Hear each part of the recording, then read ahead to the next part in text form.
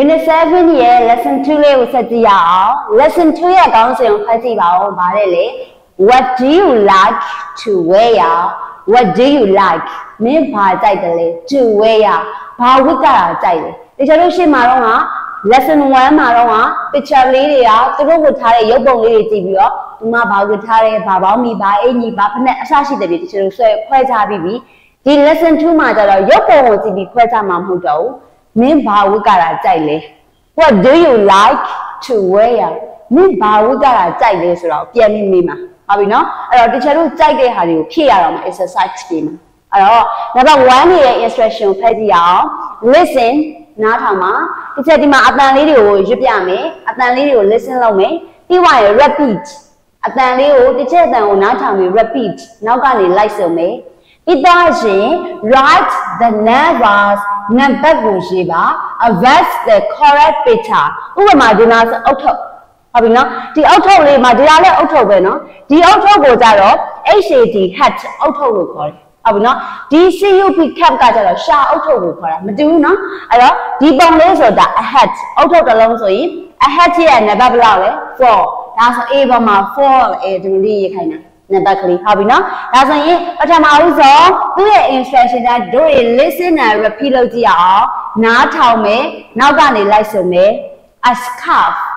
scarf S C A R F scarf lazy a scarf lazy ဟုတ်ပြီနော်မဖလာ lazy လေးကိုပြောတာဒါလေးကိုဘယ်လိုခေါ်လဲ scarf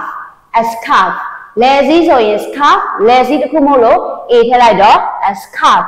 ဟုတ်ပြီနောက်တစ်ခု sweater a sweater နော် a sweater sweater အင်ကြီး a sweater a raincoat a raincoat this is a raincoat raincoat ဘာအင်ကြီးလဲမိုးကအင်ကြီး this is a raincoat နောက်တစ်ခု a hat a hat အုတ်ထုတ် a hat a cap cap ကလည်းဘာပဲလဲအုတ်ထုတ်ပဲ cap ကရှာအုတ်ထုတ် နော်ဘေးနားနေပြီးအလှပုံပေါ်ထားတယ်ဒီလိုအုတ်ထုတ်လေးတွေကို hat လို့ခေါ်တယ်ရှာအုတ်ထုတ်ကိုတော့ C A P cap ရှာအုတ်ထုတ် socks socks socks ဆိုတာကမ this is socks ဘာလေးဖြစ်မလဲခြေအိတ်ကလေးခြေအိတ်ကိုအင်္ဂလိပ်လိုဘယ်လိုခေါ်လဲ socks S O C K S socks ဒီကြပြောရင်နော်လက်အိတ်တို့ခြေအိတ်တို့ဖက်နှက်တို့ဒီတစ်ဖက်တည်းဝတ်ရုံနဲ့မရဘူး လိုက်ဆိုလဲနှစ်ဖက်စွန်းမှဖြစ်တယ်ဘောင်းမီဆိုလဲခြေထောက်နှစ်ချောင်းထည့်ရတယ်ဖက်နှက်ဆိုလဲဘယ်ရောညာရောစီးရတယ်ခြေအိတ်ဆိုလဲဘယ်ရောညာရောစွတ်ကြတယ်အဲ့လိုနှစ်ခုလုံးဟိုဘက်ကောဒီဘက်ကောလုံမဝတ်မပြည့်စုံတဲ့အရာတွေမှာဘာထည့်ပေးရလဲနောက်မှာ ST ထည့်ပေးရတယ်ဘောင်းမီဆိုရင်ဥမာ gym ဘောင်းမီဆိုရင် gym လို့ပြောရလေအဲ့ဒီ gym မှာဘာထည့်ရလဲ S ထည့်ရတယ်အရှိမအေကက်လို့ရတာမရအောင်နော်မှတ်ထားမယ်နော်အဲ့တော့ တစုံပြည့်စုံမှဘယ်ရောညာရောပြည့်စုံမှနှစ်ခုဝတ်မှပြည့်စုံတဲ့အရာမှန်သမျှမှာ aesthetic ဟုတ်ပြီနော်ဒီမှာဆို socks ခြေအိတ်ခြေအိတ်ဆိုတာကနှစ်ဖက်ဝတ်မှဒီချေတို့ကခြေအိတ်ဆိုတာဖြစ်တာလေဒါကြောင့်မို့လို့ aesthetic ထားတယ် socks နောက်တစ်ခုကလည်း gloves လက်အိတ် gloves လက်အိတ်ဆိုတာလည်းဘယ်ရောညာရောစွတ်မှဖြစ်တယ် gloves ဘာပါမှာပဲလေ s ပါမှာပဲ gloves ဟုတ်ပြီကဲ listen and repeat နားထောင်ပြီးလိုက်ဆိုပါ a scarf scarf a scarf a sweater a sweater a raincoat a raincoat a hat a hat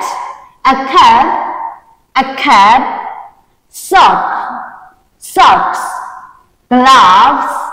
gloves ရမလားကဲဒါဆိုရင်ပုံလေးတွေမှာကြည့်ရအောင် what is this ဒါပါလေးလေဒီထဲမှာဆိုရင်1လား2လား3လား4လား5 6 7ခုနှစ်ခုပေးထားတယ်အဲ့ဒီခုနှစ်ခုမှာဆိုရင်ဒီပုံလေးကနံပါတ်ဘယ်လောက်ရဲ့ပုံလေးလဲကြည့်ပါ1 2 3 4မှာဒီပုံလေးရဲ့နံပါတ်ကနံပါတ်ဘယ်လောက်လဲ4 a hat ဒါဆိုဒီပုံမှာပါလေးတင်4ကဲနောက်တစ်ခု what is this ဒီပုံလေးကဘယ်ပုံလေးရဲ့ကိုစားပြုလဲဒီ was မှာဘယ် was လေးကိုကိုစားပြုလဲ ရှားအုပ်ထုတ်ဆိုရင်ဘယ်လိုပြောလဲ a cat ဒါဆိုရင်ဒါဒီ a cat နံပါတ်ဘယ်လောက်လဲ right ဟုတ်ပြီဒီဒါလေးကိုကြည့်အောင်ဒါလေးကရောနံပါတ်ဘယ်လောက်လဲဘာအင်ကြီးလေးလဲ sweater နံပါတ်ဘယ်လောက်လဲ2ဟုတ်ပြီကဲဒီမှာလေ raincoat ကလေးကဲဟိုဘက်မှာရှာပါအောင် raincoat ကနံပါတ်ဘယ်လောက်လဲ3ဒါဆိုဒီဘက်မှာ3ဟုတ်ပြီနော်ကဲဒီမှာကြည့်ပါ leg ကလေး leg ကိုတချို့အင်္ဂလိပ်လိုဘယ်လိုခေါ်လဲ gloves gloves က1 to 7မှာနံပါတ်ဘယ်လောက်လဲ7ဟုတ်ပြီဒီပေါ်မှာ7လို့တင်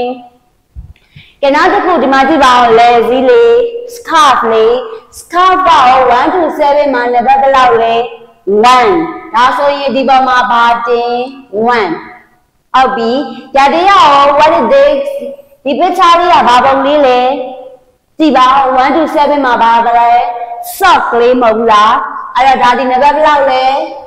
6 socks ဟုတ်ပြီအဲ့တော့တချို့တော့ picture ကိုကြည့်ပြီးတော့ရွတ်ကြည့်အောင်ကဲရွတ်ပါ a hat a cap a sweater a raincoat socks scarf အဲ sorry ဒါပါလေ glove ဒါက a sock ဒါက sock နော်ကြဒါဆိုရင်ဂျာလေးကိုရမယ်တို့တွေစလုံးပေါင်းလေးတွေတစ်ခက်တစ်ချက်ပြန်ပေါင်းရအောင် a scarf S C A R F scarf a scarf sweater S W E A T E R sweater a sweater က raincoat R A I N C O A T raincoat a raincoat ဟုတ်ပြီဒီချိန်နဲ့တူတူလိုက်ပေါင်းမယ်နော် H A T hat a hat cap C A B cap C A B cap a cap socks S O C K S socks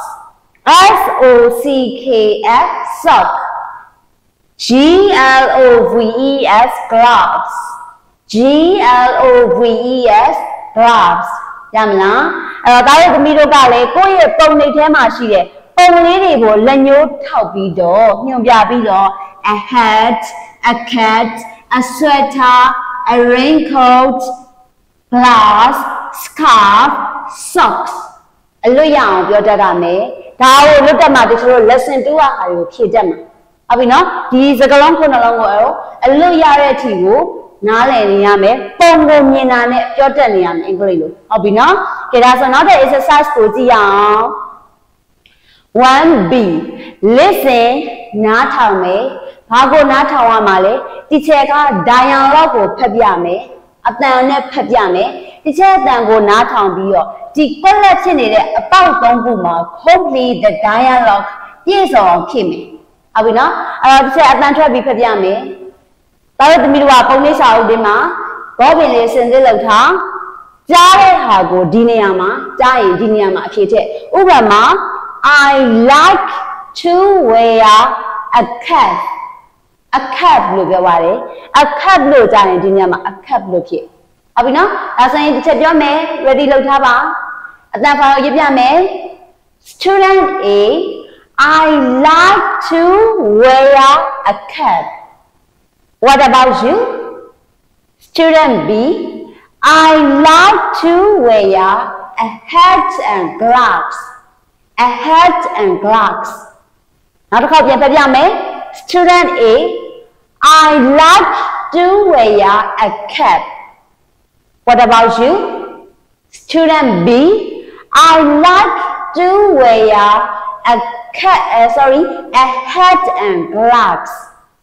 ဘာလေးကြားထားတယ်ကြားတဲ့စကားလုံးကိုဒီနေရာမှာအဖြေဖြေမယ်ဟုတ်ပြီနော်အဲ့တော့ audio ကိုလေ့ကျင့်တဲ့အခါမှာဒီချက်တို့က listening ဘယ်လောက်ကောင်းလဲဆိုတာကိုနားထောင်ရမှာဒီချက်အတန်ကို listening ဘိုင်းမှာတိတိကျကျနားထောင်ကိုကြားတာကို collect ဖောက်မှာရေးဟုတ်ပြီနော်ဒါဆိုဒီချက်နှစ်ခေါက်ရွတ်ပြသွားတာကိုကြားပြီလို့ထင်တယ်အဲ့တော့ဒီမှာဒီချက်အဖြေရေးပေးထားတယ် I like to wear a cap အဲ့တော့ဒီနေရာမှာ A C A B a cap What about you? I like to wear a hat and glove. A hat. H A T hat. G L O V E S gloves. A hat and gloves. ဟုတ်ပြီနော်အဲ့တော့ဘာတွေပြောတာလဲကြည့်ရအောင် I like to wear a cat ငါကအုတ်ထုတ်ဆောင်ရတာကြိုက်တယ်သူပြောတဲ့ cat ဆိုတာရှာအုတ်ထုတ်မဟုတ်ဘူးနော်အုတ်ထုတ်ဝိုင်းလေးတွေကိုပြောတာ What about you မင်းရောဘာကြိုက်လဲအဲ့ student ဘီယာဘာပြန်ပြောလဲ I like to wear a hat ငါကတော့ ရှာအုပ်ထုတ်ဆောင်ရတာအဲငါကတော့အုပ်ထုတ်ဆောင်ရတာကြိုက်တယ်ပြီးတော့ glove လက်အိတ်တွေစွပ်ကြတာကြိုက်တယ်ဟုတ်ပြီနော်ဒါကိုပြောထားတယ်ကြဒါဆိုရင်နောက်တစ်ခုကြည့်ရအောင်နောက်တစ်ခုမှလည်းအဲ့လိုမျိုးပဲတိကျတဲ့အကြောင်းကို listen လုပ်မယ်နားထောင်မယ်ဟုတ်ပြီနော်အဲ့တော့မေခွန်းလေးကိုဖတ်ကြည့်ပါဦး to a listen နားထောင်မယ်ဒီမှာလည်းအဲ့လိုပဲအကွက်လေးတွေမှာကွက်လက်ကလေးရှိတယ် sentence သုံးခုရှိတယ်ပြီးမှရင် complete the sentence နားထောင်ပြီးတော့ဒီ sentence ကိုပြည့်စုံအောင်ကိုကြားတဲ့စကားလုံးတွေကိုရေးရမယ်ဟုတ်ပြီနော်ဒါဆိုရင်ဒီချက်ရွတ်ပြမယ်ဒါတို့ဖြည့်ဖို့အတွက်ကို ready လုပ်ထားပါကဲဒီချက်ရွတ်ပြီး number 1 Susu likes to wear a yellow hat and a white dress in the hot season. Number two, Zofa like to wear a pink sweater and brown gloves in the cold season. Number three, Nije likes to wear a red raincoat and jeans in the rainy season. ဒါလည်းဥစ္စာကိုဖြေမယ်နော်နောက်တစ်ခေါက်ထည့်ရပြမယ်ထပ်ပြီးတော့တိုက်စစ်ကြည့်ပါဦးကိုဖြေတဲ့အဖြေနဲ့ Number 1 Susu likes to wear a yellow hat and a white dress in the hot season. Number 2 Zozo likes to wear a pink sweater and brown gloves in the cold season. Number three, Nia likes to wear a red raincoat and jeans in the rainy season. ဟုတ်ပြီနော်။ကဲသားတို့သမီးတို့ဘာဘာတွေကြားထားလဲ။အဲ့တော့သားတို့သမီးတို့ကြားလို့ဖြေထားတဲ့အဖြေနဲ့ဒီအောက်ကအဖြေနဲ့မှန်မှန်မှန်ကိုတိုက်ပါ။ဟုတ်ပြီနော်။ To wear a yellow hat and a white dress လို့ခေါ်ပါတယ်။စလုံးပေါင်းနေမှန်မှန်မှန်ကိုတိုက်မယ်။ဒီချက်အဲ့ဒါကြောင့်ဟိုးရှေ့ဆုံးမှာ lesson 2စစချင်းမှာစလုံးပေါင်းတွေကိုဒီချက်တေးချာတိုင်သွားတယ်နော်။အတန်တွက်ပဲသိပြီစလုံးပေါင်းမသိရင်ဒီမှာဖြေတတ်မှာမဟုတ်ဘူးနော်။ A yellow hat and a white dress နောက်တစ်ခုက Zozola a pink sweater and brown gloves နောက်တစ်ယောက်က a red raincoat and jeans လို့ပြောပါတာရမလားရမယ်နော်ဒါဆိုရင်ဒါက listening ပိုင်းနေနော်တချို့ listening ပိုင်းတွေကိုနားထောင်တာအတန်နားထောင်ပြီးတော့ဘာကြားလဲဆိုတော့ဖြည့်ရဟုတ်ပြီနောက်ထပ် exercise လေးကိုသွားရအောင်နောက်ထပ် exercise လေးကတော့အတူတူလုပ်ကြတော့မယ် to be practice လေ့ကျင့်ပေးပါ asking and answering the questions asking and answering တယောက်ကမေးမယ်တယောက်ကဖြေမယ်အဲ့တော့ teacher ကမေးမယ်အခု video file ကြည့်နေတဲ့သူကဖြေကဲ teacher ကမေးပြီ what do you like to wear in the hot season what do you like to wear in the hot season ဘာမေးရလဲ what do you like ဘာကြိုက်တယ်လဲ to wear ဘာဝတ်ကြတာကြိုက်လဲ in the hot season နွေရာသီမှာဘာဝတ်ရတာကြိုက်လဲအဲ့တော့သမီးတို့ကဖြေကိုဝတ်ကြတာကြိုက်တာ ဘယ်လိုဖြေမလဲ I like to wear ဆိုပြီးစဖြေရမယ်ကျွန်တော်ကဝတ်ကြတာကြိုက်ပါတယ်ကဲနွေရာသီမှာသားတို့သမီးတို့ဘာဝတ်ကြတာကြိုက်တယ်ဖြေကြည့်ပါဥမာ T-shirt နဲ့ဘောင်းမီတိုနဲ့ဝတ်ကြတာကြိုက်ရင်ဘယ်လိုဖြေမလဲ I like to wear T-shirt and shorts T-shirt နဲ့ဘောင်းမီတိုနဲ့ဝတ်ကြတာကြိုက်တယ်ဒါမှမဟုတ်ခေါင်းဝင်လေးဝတ်ကြတာကြိုက်ရင်ရောဘယ်လိုဖြေမလဲ I like to wear a dress ကောင်းဝင်လေးဝတ်ကြတာကြိုက်တယ်အစားရှိတဲ့ဖြေဖြေခြင်းနဲ့ဖြေဖြေလို့ရတယ်နော် အခုက speaking session ရောက်သွားပြီ teacher ကမေးမယ်အခု video file ကြည့်နေတဲ့သူကပြန်ဖြေတယောက်ကမေးတယောက်ကဖြေ teacher နဲ့မေးဖြေလို့ပြီးသွားရင်လည်းကိုယ်တငယ်ချင်းနဲ့တယောက်က asking လို့တယောက်က answering လုပ်ကြမယ်နားလည်နော် speaking session ကိုလေ့ကျင့်နေရစာအုပ်ထဲမှာချရေးစရာမလိုဘူးတယောက်နဲ့တယောက်ပြောပြီးလေ့ကျင့်ရမှာအဲ့တော့ teacher ကဒီမှာမေးပေးမယ်တောက်သမီးတို့ကဖြေဖြေခြင်းနဲ့ဖြေဖြေလို့ရတယ်ကိုဝတ်ချင်တဲ့နွေရာသီမှာကိုဝတ်ချင်တဲ့ဟာတိုက်တာဝတ် တီရှပ်ကခေါင်းဝင်လေးဝတ်ချင်မယ်တားတို့သမီးတို့ကခေါင်းမီတိုနဲ့တီရှပ်နဲ့ဝတ်ချင်လဲရတယ်ကြိုက်တဲ့ဥစ္စာကိုဝတ်ဟုတ်ပြီနော်ကြဒါဆိုတစ်ချက်မေးပြီ what do you like to wear in the hot season hot season မှာဘာဝတ်ကြတာကြိုက်တယ်ဖြေကြည့်ပါနောက်ကောကိုစဉ်းစားပြီးဖြေကြည့်ပါ I like to wear ဘာနဲ့ဘာဖြေဟုတ်ပြီနော်ကြနောက်တစ်ခုထပ်မေးကြည့်မယ် like ဖြေရမယ်နော် like ဖြေမှာ speaking skill တက်မှာနော် like ဖြေနော် ကဲနောက်တစ်ခုမေးမယ် what do you like to wear in the rainy season မိုးရာသီမှာရောဘာဝေးရတာကြိုက်လဲမိုးရာသီမှာမိုးရာသီဆိုနည်းနည်းအေးသွားပြီနော်ဘာဝတ်ကတာကြိုက်လဲဖြေကြည့်ပါဥပမာ